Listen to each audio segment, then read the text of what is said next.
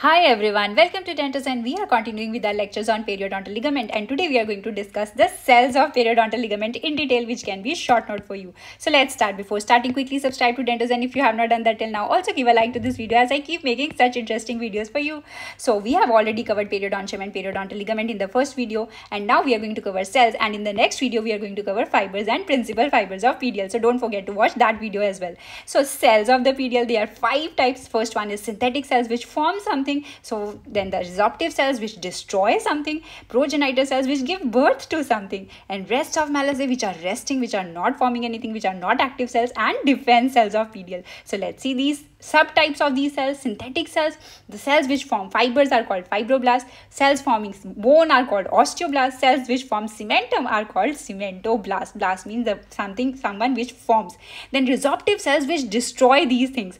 Now fibers are destroyed by the fibroblast itself. That is fibroblast forms fibers as well as destroys them. Whereas bone and cementum are destroyed by different cells. So let's see. So the resorptive cells of collagen fibers are fibroblast only but resorptive cells of bone are osteoclast. class means which destroys something and the resorptive cells of cementum are cementoclast. Now defense cells in PDL can be mast cells, macrophages and eosinophils. So those are the five cell types. Now let's discuss each cell type in detail. First the synthetic cells. Now all the synthetic cells they have some common general criteria that is all of them are synthetic cells. They produce proteins so they have a lot of organelles. So they have RNA transcription and ribosomes in the nucleolus, transportation of these ribosomes to cytoplasm, enough of endoplasmic reticulum and Golgi apparatus increased for translation and transportation of proteins. So all the qualities of an active cell. So how these synthetic cells appear on stained sections. So increased RNA and ribosomes will give an appearance of open-faced or vesicular nucleus. That means they will have prominent nucleoli as you can see here where ribosomes have formed and the nucleus will stain dark that is it has increased hematoxyphilia increased staining for the hematoxylin blue color. Golgi apparatus will remain as clear unstained areas and increased mitochondria can be seen to meet the energy needs of the cell. Cell has to work so much so it needs a lot of mitochondria.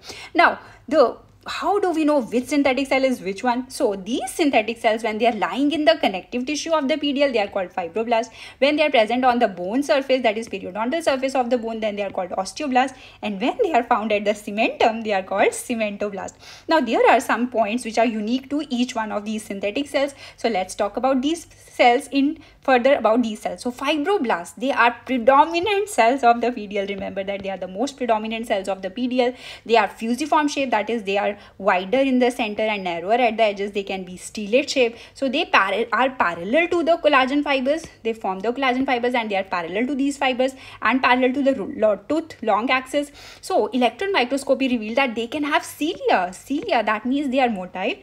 There are actin filaments inside these cells because of which which when contract they can change the shape and can migrate. So their mo movement motility is due to presence of actin filaments. So they these cells can develop cell to cell contacts through their processes. As you can see here these processes can contact each other and they can also contact the extracellular matrix. So when these processes contract, the actin filaments inside them will contract and the cells will show motion. So let's see how that happens inside the periodontal ligament. So this is the fibroblast cell. It has cytoplasmic processes as you can see here. So these cells they wrap their processes around the collagen fibers. Collagen fibers ke around apni processes dal dete hain so when they get the signal from the matrix from some proteins to contract so actin inside them will contract. And because of this contraction there will be motility and they will pull the pull these collagen fibers towards themselves. They have wrapped around these collagen fibers and they will pull these fibers because of which a force is generated because of which there will be movement of the tooth. And that is how these PDL fibroblasts helps in the eruption of the tooth and that is the theory of tooth eruption based on the periodontal ligament traction theory. For the details you can watch the theory theories on tooth eruption video. So we have seen that how these PDL fibroblasts have the contractile properties, have motility.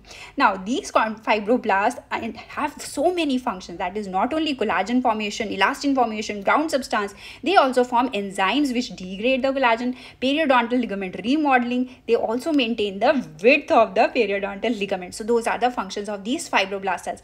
Now, these fibroblasts of periodontal ligament are little different from the gingival fibroblasts. How? They are origin is ectomesenchymal whereas gingival are coming from mesodermal proliferative capacity of these PDL fibroblasts is high, so they express high alkaline phosphatase and cyclic AMP, whereas it is less for gingival. And these PDL fibroblasts have actin microfilaments and special protein which is called fibronectin glycoprotein. With the help of these two, it makes contractile apparatus. It can contract. It can generate forces for the tooth eruption. So it has eruptive capacity, whereas gingival fibroblasts do not have eruptive capacity. Now talking about the osteoblasts, they are cuboidal shaped cells. As you can see here, they have nucleus which prominent round nucleus located at the basal end of the cell. Abundant organelles because again it is synthetic cells. They have desmosomes, junctions between adjacent cells and tight junctions and their function is the formation of bone, bone remodeling, mineralization of osteoid, collagenous and non-collagenous protein formation, proteoglycans, enzymes, and growth factors. So they form so many things. Similarly, cementoblasts are also cuboidal shaped cells. They have abundant processes, but they have less rough endoplasmic reticulum compared to the fibroblasts. And their function is formation of cementum and attach the tooth to the bone via PDL. Now coming to the resorptive cells. Now for fibers, Fibroblasts are the resorptive cells, but bone and cementum, they are different. So osteoclasts and cementoclasts, let's discuss these cells. Osteoclasts, they are derived from hematopoietic stem cells from the bone marrow derived coming from the blood. So cementoclast, their origin is unknown, but they are thought to be same as osteoclast. Now on the light microscopy, these osteoclasts, they have they appear large multinucleated cells, as you can see here, large cells with multinucleated appearance, or they can be small mononuclear cells, small cells with single nucleus. And where they rest on the bone, where they degrade the bone, that is called Howship's lacuna, this concavity, this bay. So for cementoclast and osteoclast, let's see how it appears on the PDL surface. So this is the osteoclast, it is lying on the bone surface and this is the Howship's lacuna or the concavity where the cell is lying and causing resorption. So cementoclast will also show, show the same thing that is they can be multinucleated or mononuclear and they show Howship's lacuna over the cementum as you can see here. Now on under the electron microscopy these cells will show numerous mitochondria and lysosomes because they have enzymes inside it which helps in the degradation. Abundant Golgi free ribosomes are there but little rough endoplasmic reticulum that means they are not synthesizing protein but they are degrading. So cementoclasts also are similar to osteoclasts under the electron microscope. And what is the function? Osteoclast helps in bone resorption, cementoclast helps in cementum resorption. Now we coming to the third cells, progenitor cells. So they have the capacity to divide. They replace the dying cells.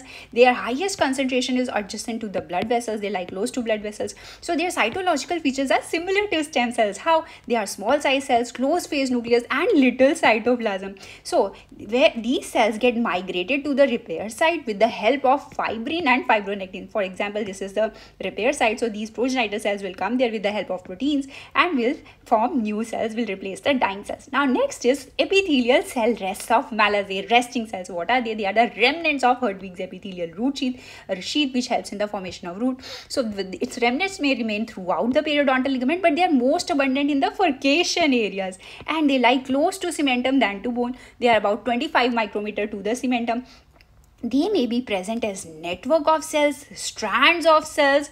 They may be islands of cells or tubule like structures. So they can give so many appearances. When cross section is cut they can give cluster like arrangement group like arrangement. When the tangential section is cut they can form a network of interconnecting strands parallel to the tooth surface. So how they are differentiated from the fibroblast cells these cells are closely packed. As you can see they are joined together. They are cuboidal cells. They have prominent nuclei deep staining. Very very important point about these cells. They have dark staining nucleus, scanty cytoplasm, mitochondria there, but less of Golgi apparatus and rough endoplasmic reticulum. That means they are not synthetic cells, they are not synthesizing proteins.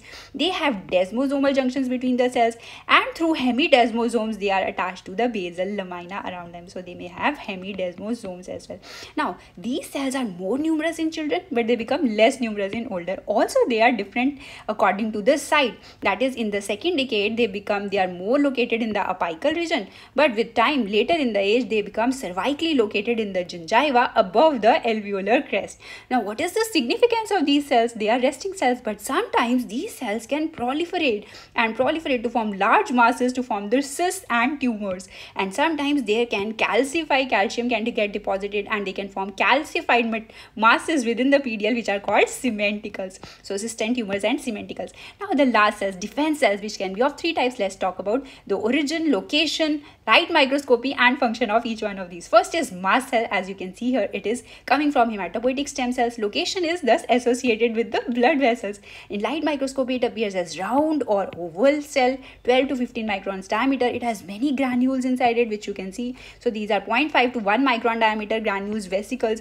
and these granules contain substances like heparin and histamine. And these cells are stained by metachromatic dyes like toluidine blue, azure dyes. So dyes get over these cells and give the change in color. So those are the metachromatic dyes. What is the function of these cells?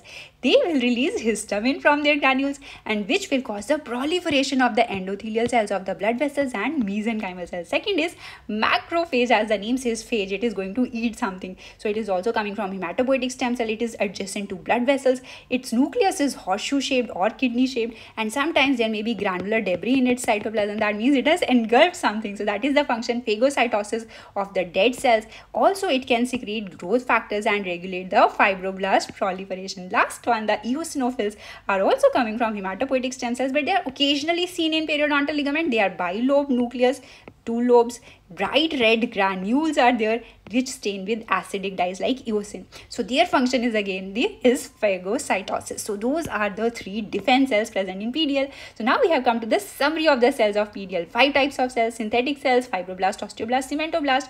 All the features of synthetic cell. Resorptive cells are fibroblast, osteoclast and cementoclast. They can be multinucleated or mononuclear cells. Progenitor cells which give rise to new cells. They are located adjacent to blood vessels. Rest of Malassez which are inactive cells close to cementum and defense cells which can be mast cell, macrophages and eosinophils. Now let's check what have you learned about cells of PDL which is the predominant cell of PDL, cell that resorb fibers, remnants of HERS in PDL are known as bone resorbing cells are called cells that resorb cementum are called defense cells which are present in PDL. So that is all for this video. If you really enjoyed the video, do tap on the like button and share this video with your friends. Keep watching, keep learning and keep smiling. Good luck for your exams. See you in the next video on collagen on the fibers of PDL soon. Till then, take care. Bye-bye.